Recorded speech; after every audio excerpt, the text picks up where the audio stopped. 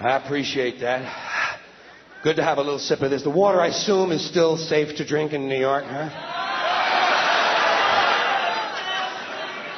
Actually, actually, I got to be fair with you. I'm only setting you up a little bit. It's just a, a not a trick question, but it's just a setup because I don't really care about the water. To tell you the truth, I just love to hear the answer to that question.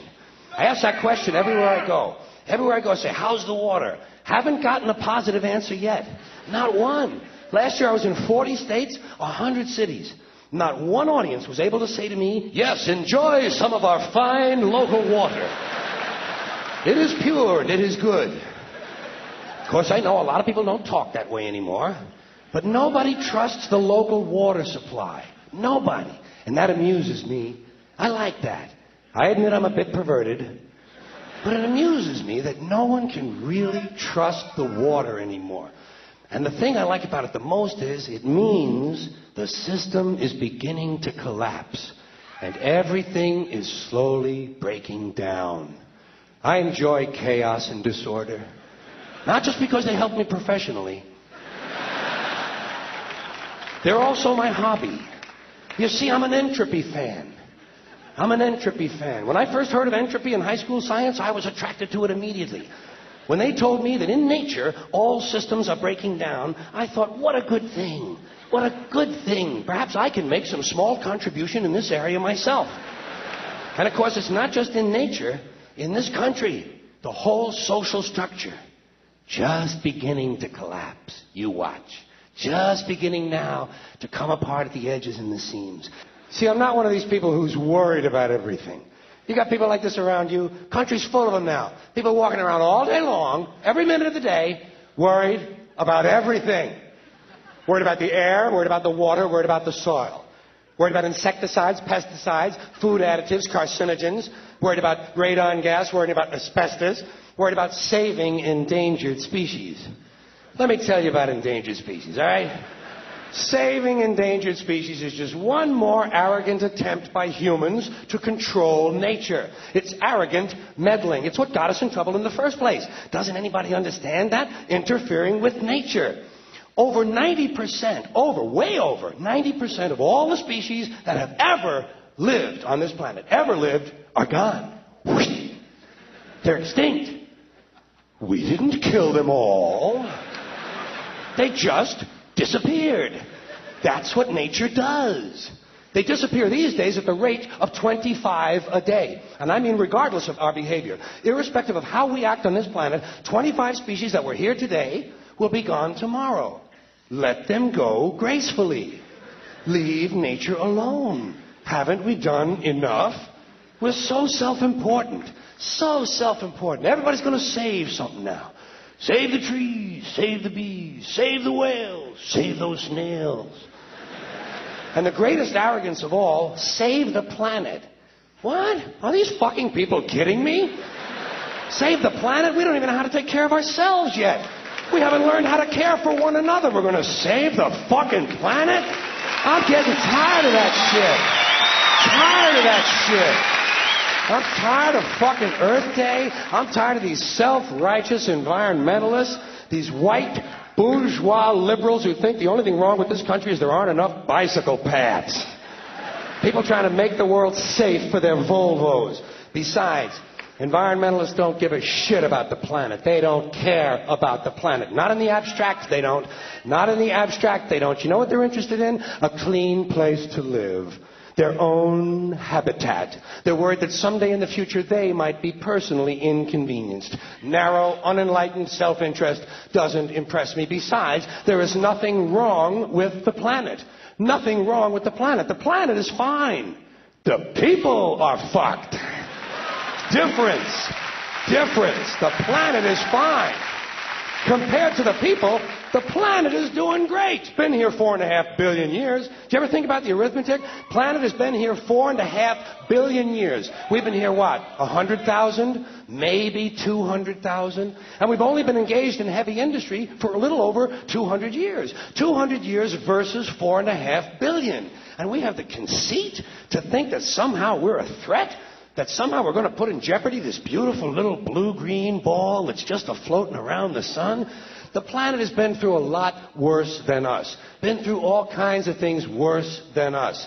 Been through earthquakes, volcanoes, plate tectonics, continental drift, solar flares, sunspots, magnetic storms, the magnetic reversal of the poles, hundreds of thousands of years of bombardment by comets and asteroids and meteors, worldwide floods, tidal waves, worldwide fires, erosion, cosmic rays, recurring ice ages, and we think some plastic bags and some aluminum cans are going to make a difference? The planet the planet. The planet isn't going anywhere. We are. We're going away. Pack your shit, folks. We're going away. And we won't leave much of a trace either. Thank God for that.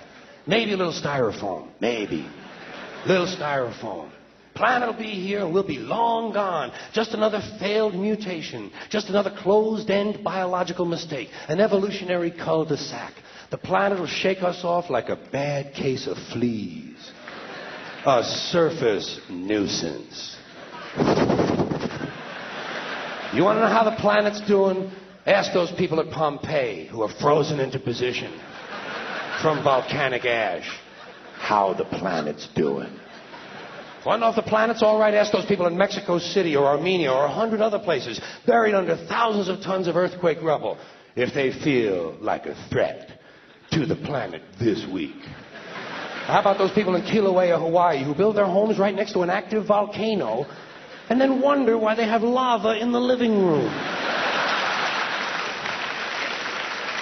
The planet will be here for a long, long, long time after we're gone, and it will heal itself. It will cleanse itself, because that's what it does. It's a self-correcting system. The air and the water will recover, the earth will be renewed, and if it's true that plastic is not degradable, well, the planet will simply incorporate plastic into a new paradigm, the earth plus plastic. The earth doesn't share our prejudice towards plastic. Plastic came out of the earth. The earth probably sees plastic as just another one of its children. Could be the only reason the earth allowed us to be spawned from it in the first place. It wanted plastic for itself. Didn't know how to make it. Needed us. Could be the answer to our age old egocentric philosophical question why are we here?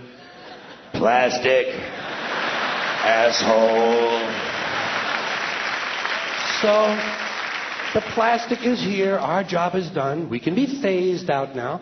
And I think that's begun. Don't you think that's already started? I think, to be fair, the planet sees us as a mild threat something to be dealt with, and the planet can defend itself in an organized collective way, the way a beehive or an ant colony can. A collective defense mechanism. The planet will think of something. What would you do if you were the planet? How would you defend yourself against this troublesome, pesky species? Let's see, viruses. Viruses might be good. They seem vulnerable to viruses. And uh, viruses are tricky, always mutating and forming new strains whenever a vaccine is developed. Perhaps this first virus could be one that compromises the immune system of these creatures, perhaps a human immunodeficiency virus, making them vulnerable to all sorts of other diseases and infections that might come along. And maybe it could be spread sexually, making them a little reluctant to engage in the act of reproduction. Well, that's a poetic note. And it's a start. And I can dream, can I? See, I don't worry about the little things bees, trees, whales, snails. I think we're part of a greater wisdom than we will ever understand. A higher order. Call it what you want. Know what I call it? The big electron. The big electron. Whoa. Whoa. Whoa. It doesn't punish. It doesn't reward. It doesn't judge at all. It just is. And so are we. For a little while. Thanks for being here with me for a little while tonight. Thank you. Sleet here, hippy dippy weather, man, with all the hippy dippy weather, man. Tonight's forecast dark. Continued dark tonight, turning to partly light in the morning. Oh, Al, Al got out of the weather business when he realized he had given the, the final weather forecast. He had given the ultimate forecast. There was nowhere to go. You know, when there's nothing left to conquer in your field, hey, it's time to leave. And old Al had given the ultimate forecast. He told us, he said, one night, that the weather will continue to change on and off for a long, long time. And he was gone, Philip. God bless Al.